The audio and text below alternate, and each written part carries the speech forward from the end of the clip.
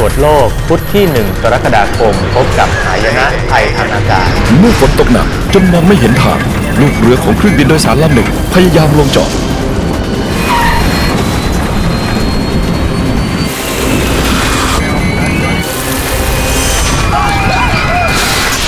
การลงจอดกระทันหันทำให้เกิดการดิ้นรนเพื่อเอาชีวิตรอดเปิดประตูเปิดประตู สำรวจโลกจาก Next Step สร้างสังคมแห่งการเรียนรู้ที่ New TV